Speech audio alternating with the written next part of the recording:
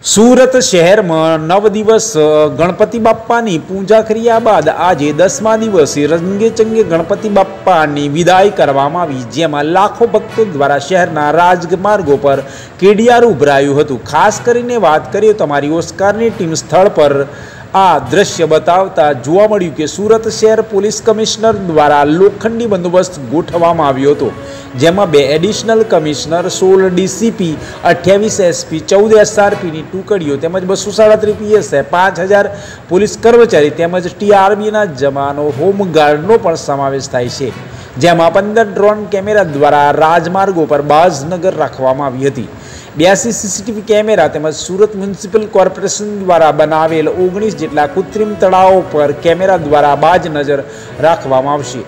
જેનું monitoring police commissioner control room દ્વારા કરવામાં આવે છે. હાલ તો ગણેશ વિસર્જનનો સમય પૂર્ણ થવાની તૈયારીઓમાં છે. ત્યારે મેઘરાજાએ પણ ગરમીમાં ભક્તોને વરસાદથી પાવન કર્યા છે.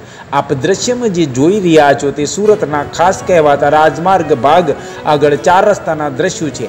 જ્યાં મોટી સંખ્યામાં અને મોટી ઊંચાઈવાળા ગણપતિની પ્રતિમાઓનું વિસર્જન આ રાજમાર્ગ ઉપર થઈને લઈ જવામાં આવી છે.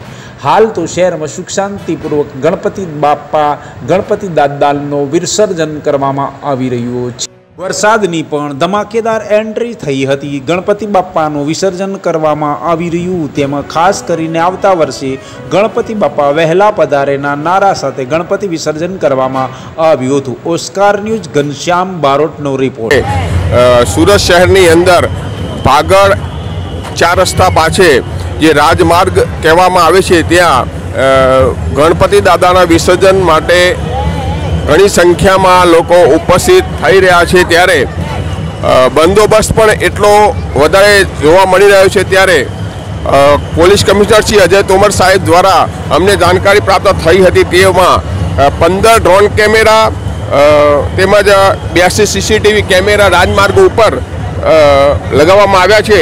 જેમાં બે એડિશનલ કમિશનર સાહેબ સોળ ડીસીપી છપ્પનસો પોલીસ કોન્સ્ટેબલ પાંચ હજાર જેટલા ટીઆરબી જવાનો સાથે બંદો, લોખંડી બંદોબસ્ત કરવામાં આવી રહ્યો છે ત્યારે ચૌદ એસઆરપીની ટુકડી તેમજ પંચાણું પીઆઈ અને બસો સાડત્રીસ પીએસઆઈનો બંદોબસ્ત સુરત શહેરની અંદર હાલ જોવા મળી રહ્યો છે. હાલ તો વાતાવરણ સુખ શાંતિપૂર્વક ગણપતિ દાદાનું વિસર્જન થઈ રહ્યું છે ત્યારે વરસાદનું પણ આગમન જોવા મળ્યું છે. ત્યારે ભક્તજનોમાં ખૂબ ખુશીનો આનંદ વ્યાપી ગયો છે. હાલ તો વિસર્જનનું કામ ચાલુ જ છે અને સુરતની અંદર અંદાજે નગરપાલિકા મહાનગરપાલિકા દ્વારા ઓગણીસ જેટલા કૃત્રિમ તળાવોમાં વિસર્જન થઈ રહ્યું છે. જ્યારે ડુમ્મસ દરિયા તેમજ અમુક મોટા ઓવરા ઉપર પાંચ ફૂટથી મોટી મૂર્તિઓનું પણ વિસર્જન કરવામાં આવી રહ્યું છે. આપ જે દ્રશ્યો નિહાળી રહ્યા છો તે સુરત શહેરના રાજમાર્ગ ઉપર ભાગળ ચાર રસ્તાના દ્રશ્યો છે.